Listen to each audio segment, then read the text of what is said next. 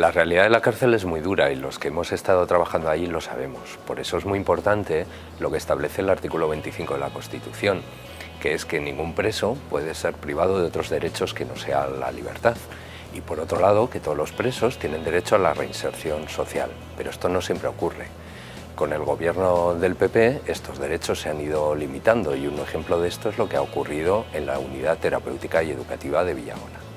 Cuando hablamos de la UTE de Villabona debemos tener en cuenta un dato importante y es que surge por la iniciativa de los profesionales del centro que ven las necesidades que existen y desde ahí es desde donde se teje una red solidaria en la que se involucran organismos de Asturias, familiares, agentes de la sociedad civil e incluso las personas que previamente habían estado en, en Villabona y que contribuyen a mejorar la vida de quienes todavía siguen dentro. Sin embargo, y de una manera incomprensible, en el año 2012, cuando cambia la administración de estas instituciones penitenciarias, se inicia un proceso de desmantelamiento que no de su eliminación porque perderían el prestigio nacional e internacional que posee la UTE Villabona, pero que ha ido llevando a una situación actual de tremenda agonía.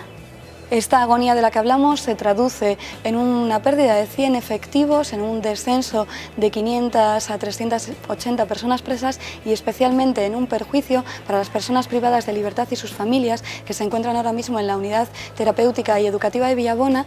Por tanto, desde Podemos, tanto en el Estado como especialmente en Asturias, tenemos una preocupación por, cuál es el futuro que vamos a tener de la unidad terapéutica y educativa de Villabona y consideramos que el responsable último de esta situación tan grave y agónica es Ángel Juste, secretario general de instituciones penitenciarias, a quien se le lleva repitiendo, preguntando repetidas veces qué ocurre con esto y de momento, aunque le estamos preguntando, no ha querido dar respuesta a ninguna de las personas que, que le ha preguntado.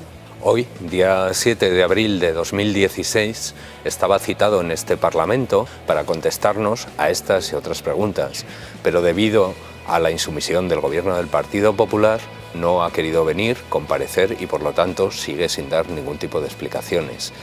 No cabe otra solución que los ciudadanos le pregunten y le interpelen, señor Yuste, ¿qué va a pasar con la UTE de Villabona? ¿Por qué la cierra? ¿Por qué está hostigando a los profesionales? ¿Qué va a pasar con las personas presas que ven privados sus derechos? No podemos más que devolveros la pelota al pueblo y deciros, empoderaros y preguntad vosotros también.